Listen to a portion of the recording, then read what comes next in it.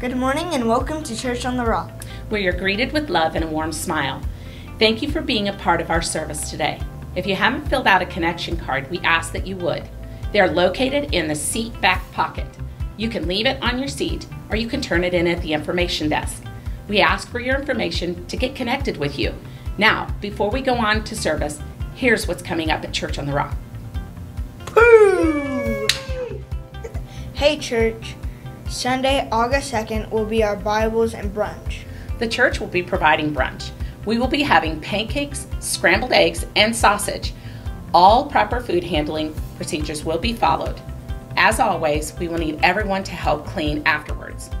You are welcome to donate if you'd like. Okay, ready? Guess what? We're going to be making a new directory, so we'd like everybody to fill out the paperwork. The forms are at the Information Center. Please turn in the filled out forms to the same place. Thank you. hey, we are needing some help.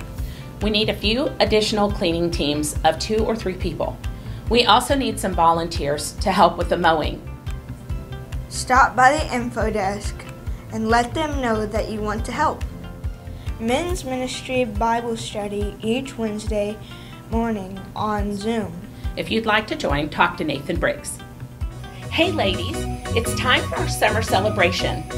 We're going to have an annual pool party. Yes, so it's coming up quick, Saturday, August 1st at 2 p.m. Ladies, we hope to see you there.